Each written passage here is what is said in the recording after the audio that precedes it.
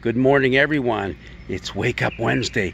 And ah, oh, wasn't it great to wake up this morning to temperatures in the low 70s? You're going, hey, wait a minute, that's kind of warm for an overnight temperature. Well, it is, but hey, it felt great this morning compared to the high 80s we had yesterday afternoon in that hot sun. Whoa!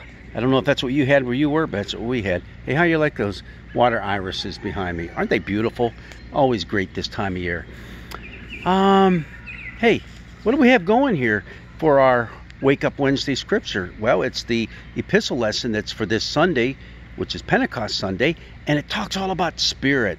It comes from the book of Romans, the eighth chapter, and my eighth chapter has a little title above it, which is something that was added in by later editors uh, Life in the Spirit. And it is, it talks about how God's Spirit works in our lives. And this is just a short little snippet of that chapter. And I want to read it for you because you have to hear it in order to understand what we're about to say. Okay, starting with verse 14. For all who are led by the Spirit of God are children of God. For you did not receive a spirit of slavery to fall back into fear, but you've received a spirit of adoption.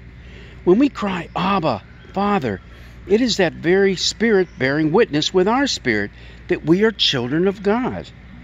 And if children, then heirs, heirs of God, and joint heirs with Christ, if in fact we suffer with him, so that we may also be glorified with him.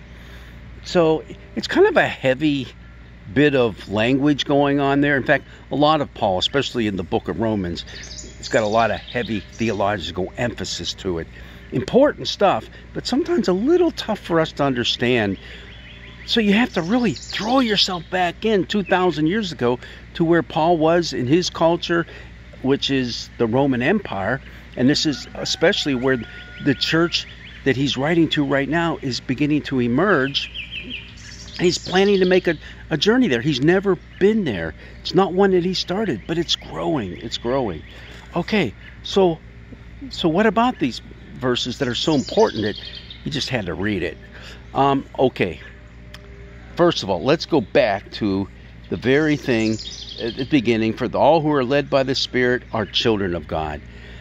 Literally, it's sons of God. Now, I'm reading from the New Revised Standard Version, and they're trying to be gender inclusive. So it's not just sons, it's daughters too. Uh, yeah, and that's well and fine, except here. Here it's important to keep the masculine there and you're going, oh, you sexist person, what are you trying to do? You know, trying to downplay the role of women again? No, because in the book of Romans, women lead big chunks of the church throughout Rome. Uh, but that's not what's going on here. It's very important you keep sons in there. And why? Because later on you're going to be talking about adoption, being adopted into the family of God.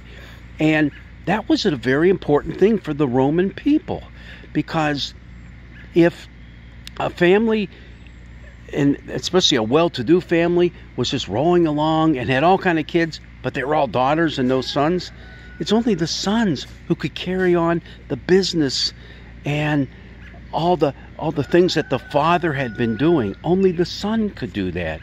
And so if there's no son basically the name of that family just gets washed away into history. It's gone forever.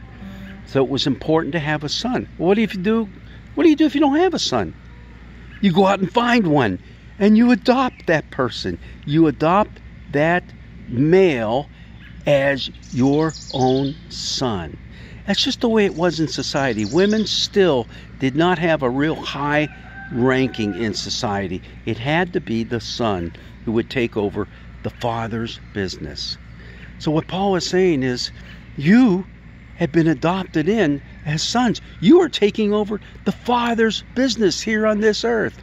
Now, what's interesting, a little bit later on, you heard me say the word children again. That's a different word for children. And in fact, Paul now is being inclusive and he's remembering all these women who are leading different parts of the church, not only there in Rome, but all across the Roman Empire.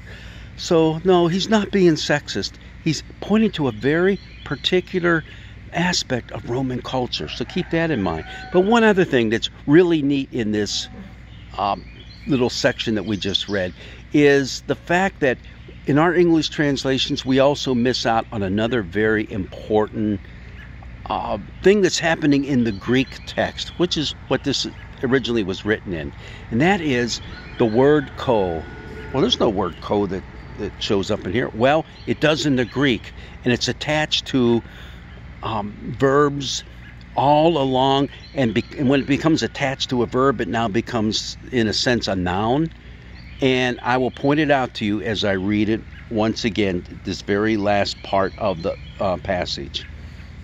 Okay, it is that very spirit bearing witness with our spirit, bearing witness, co witnessing. So it's with us. Okay, the spirit is co witnessing with us. Um, and if children, then heirs, heirs of God, and joint heirs, co heirs, literally co heirs. If in fact we suffer with him, co suffer with him, that we also might be glorified with him. Co glorified with him. You see the intimacy that's involved in all the Greek language here? The Spirit is right there with us, in us, working through us, because we are linked together in a very close, intimate way. It's not just something that comes zipping in and out of our lives. No, with us all the time. Awesome passage, a very good one to hang on to and remember that God is always with us every step of the way because now we're infused with that spirit. We are uniquely and intimately connected with one another.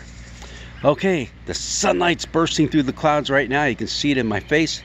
It's glorious, it's beautiful, it's warm, but we do have some thunderstorms rising up later on in the day. So, got to get ready for that too. God's blessings be with you as you move your way through this beautiful Wake Up Wednesday.